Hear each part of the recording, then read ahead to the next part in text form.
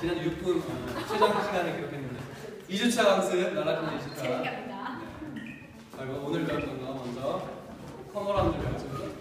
네, 네. 1, 2, 3, 4, 5, 6, 7, 8 1, 2, 3, 4, 5, 6 연습하실 때는 계속 더 도는 연습을 많이 해보시고요 그래서 멈춰서 3, 4, 5, 6 이렇게 멈추지 말고 3, 4, 5, 6, 7 연습할 때는 이런 식으로 계속 모멘텀을 계속 돌아가는 모멘텀을 키우면서 연습해 보시고 혼자 연습하실 때는 이 뒷발을 떠 있는 발을 살짝 이용해 보세요. 약간 뒤로 살짝.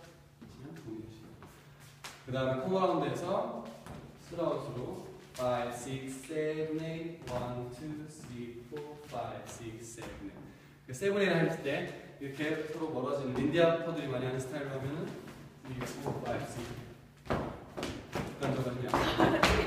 이렇게 되는데 좀 더 잠그고 이 팔에 있는 스트레치보다는 엉뚱아리를 이렇게 허리를 더 그대로 이렇게 큐대를 올리고. 2, 3, 4, 5, 6 네, 그렇게 해주시고 이미 여기서 에너지를 충분히 가졌기 때문에 추가적으로 팔로 이렇게 리딩할 필요가 없거든요 그러니까 그냥 그대로 자연스럽게 리리즈 해주시면 좋고 발끝보다는 발끝을 이렇게 하시는 것보다는 좀 더 몸뚱아리 움직일 수 있게 발. 네, 다리 전체로 해주시는 게 좋을 것 같아요 그리고 팔로워분들은 바깥으로 나가려는 턴이 아니라 자꾸 리더한테로 들어오려고 하는 그런 턴을 많이. 빰빰빰. 네, 그리고 다시 만났을 때도 계속 모멘텀을 살려서 여기서 그냥 툭툭툭 이렇게 하는 게 아니라 하고 나서 계속 도는 에너지를 이용해서 come around 하실 네, come around로 들어가시면 조금 더 Balboa스럽게 하실 수 있고 그 다음에 그얘 connection 잡고 하는 게 있었죠? 음, 그냥 잡고 음, 막 단순해 보이지만 그냥 connection을 잡고 하는 게 있었고 그 다음에 뒤로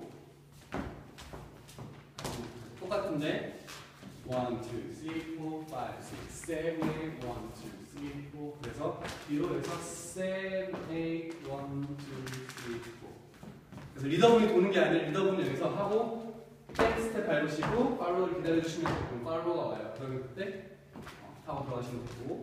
아까 어떤 리더분이 이렇게 하셨는데 신기한 롤 스타일도 한번 연습해보면 좋을 것 같네요 네, 이상입니다 감사합니다.